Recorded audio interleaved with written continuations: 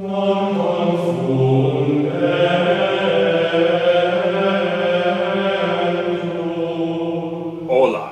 y bienvenidos a este año 1314.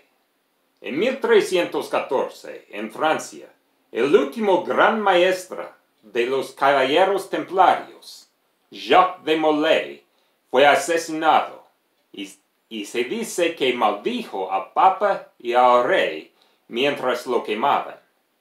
Un mes después, el papa, Clemente V, murió y un rayo copeó a la iglesia donde yacía su cuerpo, quemándolo.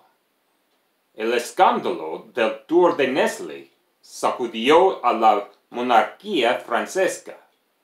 En una visita, la hija de Felipe IV, Isabela, reina de Inglaterra, acusaron a sus cuñadas de asuntos adulterios. Las mujeres fueron encarceladas y sus amantes fueron torturados y ejecutados. Unos meses más tarde, el rey, Felipe IV, murió de un derrame cerebral mientras cazaba. Robert the Bruce ganó la independencia de Escocia en la batalla de Bannockburn el Exeter College se fundó en Oxford y la capital de Noruega se trasladó de Bergen a Oslo.